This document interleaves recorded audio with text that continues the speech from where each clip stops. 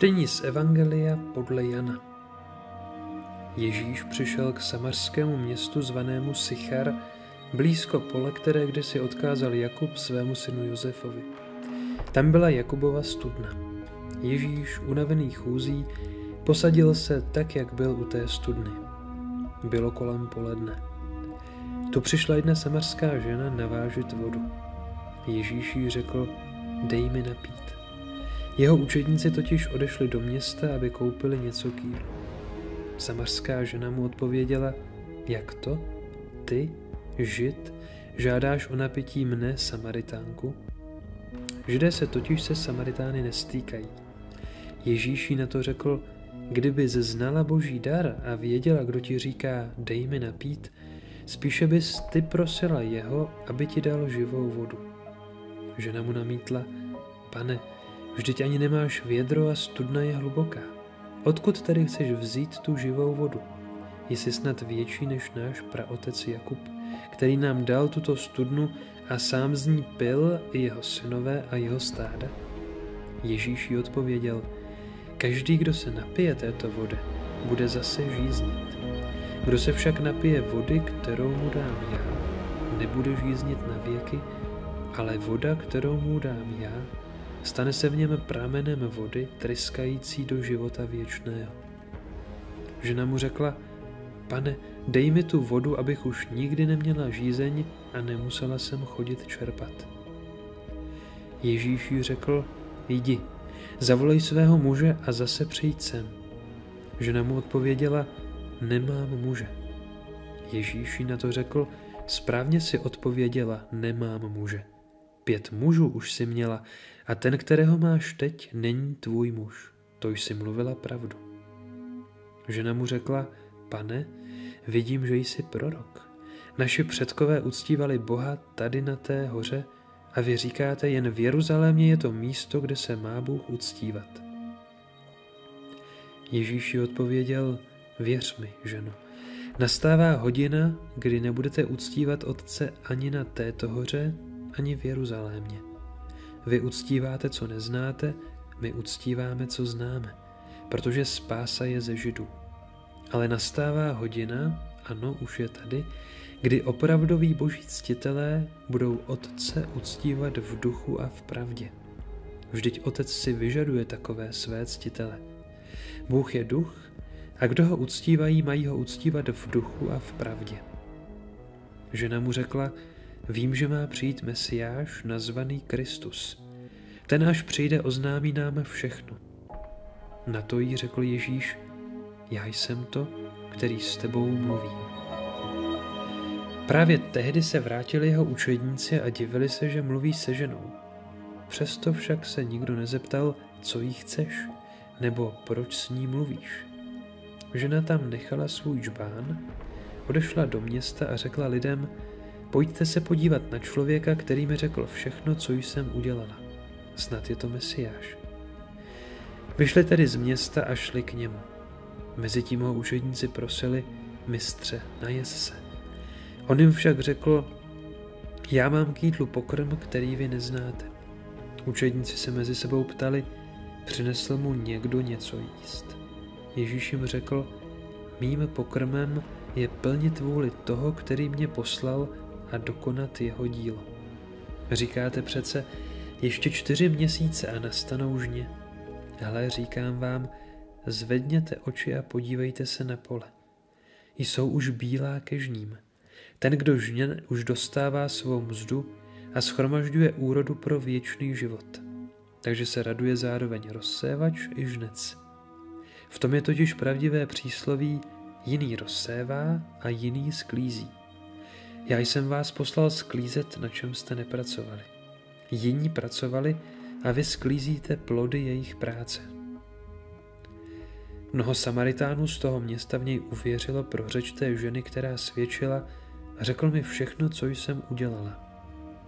Když tedy ti Samaritáni k němu přišli, prosili ho, aby u nich zůstal. Zůstal tam dva dny. A ještě mnohem více jich v něj uvěřilo pro jeho řeč. Té ženě pak říkali, věříme už nejen proto, že s nám to pověděla. Vždyť sami jsme ho slyšeli a víme, že je to skutečně spasitel světa.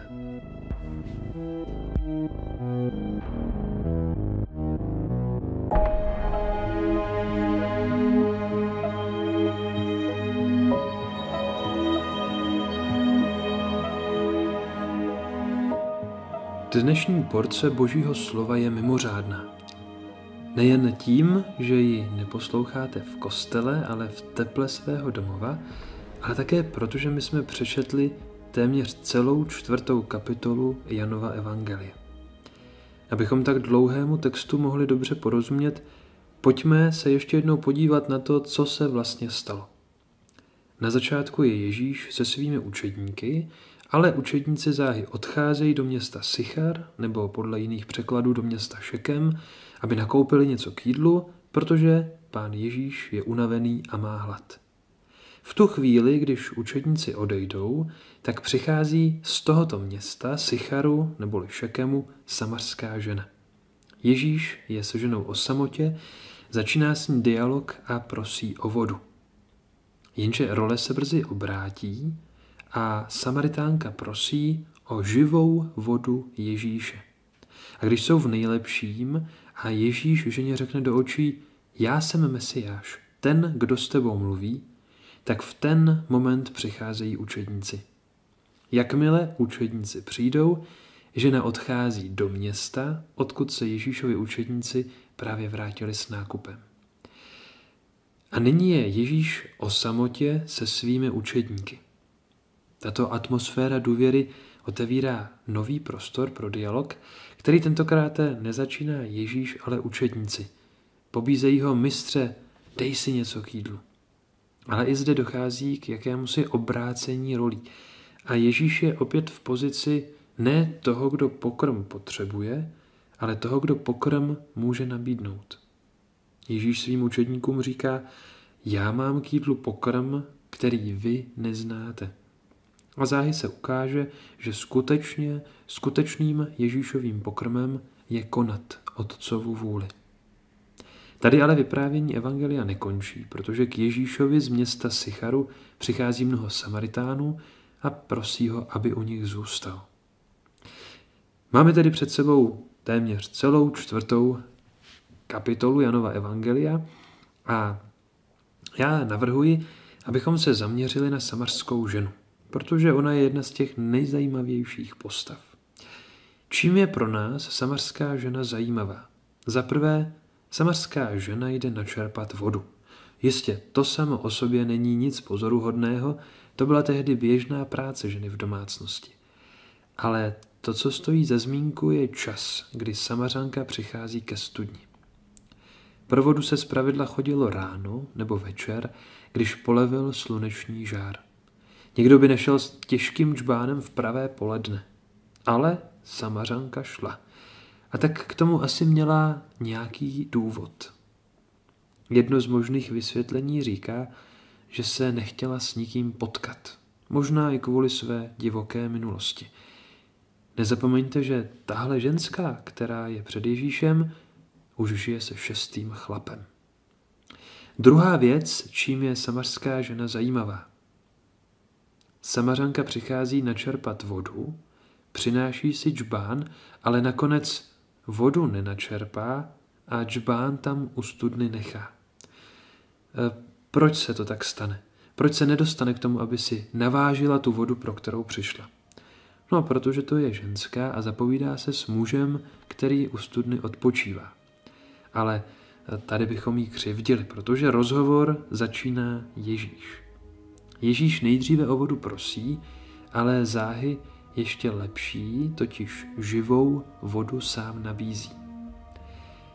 Tady je dobré vědět, že lidé rozlišovali vodu načerpanou z pramene a vodu načerpanou z cisterny. V cisterně byla voda jen tehdy, když nějaká napršela. Z pravidla nebyla moc čistá, rychle se kazila, byla to takzvaná mrtvá voda. Naproti tomu živá voda z pramene nebo ze studny byla vždy pitná, čerstvá a chladivá. Samarská žena tedy nepřichází k nějaké pochybné cisterně, ale ke spolehlivé studni praotce Jákoba. Samaritánka si tedy jde načerpat živou vodu. Ale potká Ježíše, který ji vysvětlí, že není život jako život a že není voda jako voda.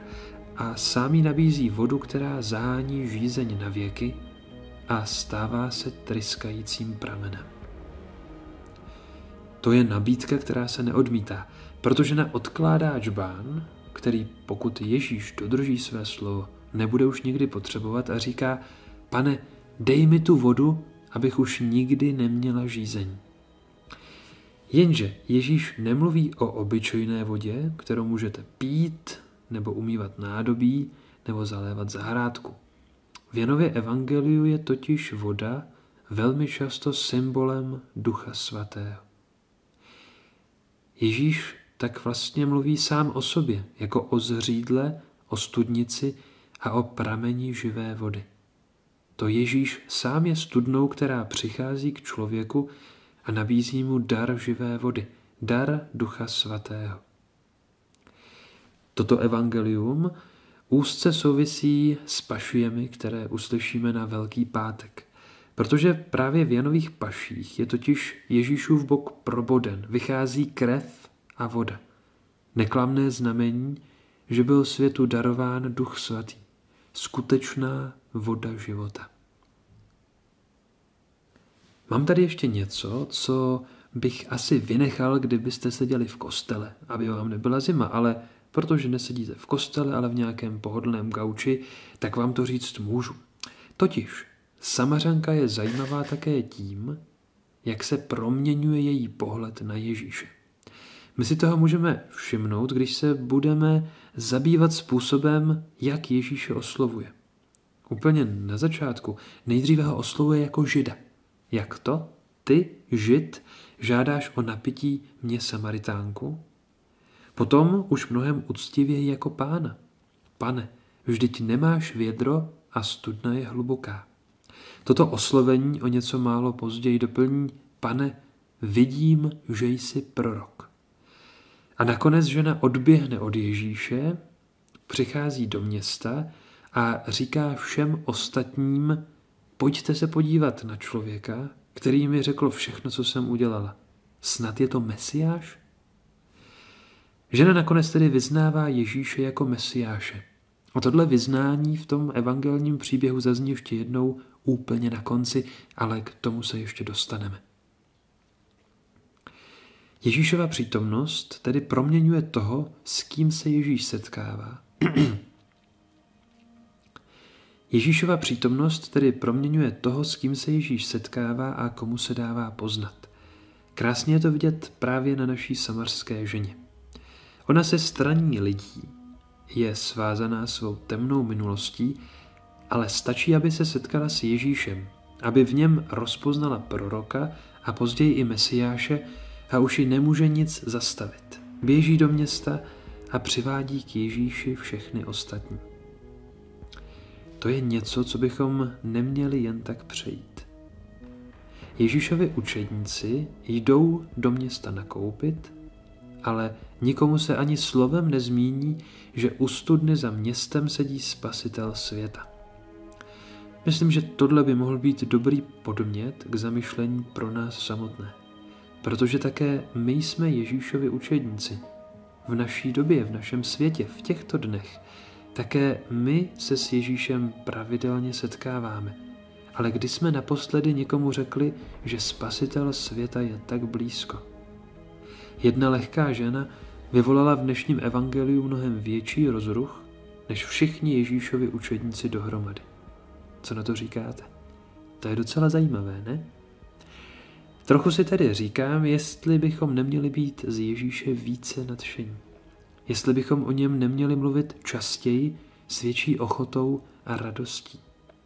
Protože žijeme ve světě, který právě v tyto dny více než jindy potřebuje slyšet, že spasitel světa není daleko. Dobře, ale co bychom měli udělat proto, abychom toho byli schopni? Abychom se mohli stát svědky Ježíše Krista pro tento svět. Evangelium nám říká, co je třeba udělat. Je to setkání. Je to zkušenost s Ježíšem. Samařská žena běží do města, protože ona se setkala s Ježíšem a udělala s ním svou vlastní zkušenost.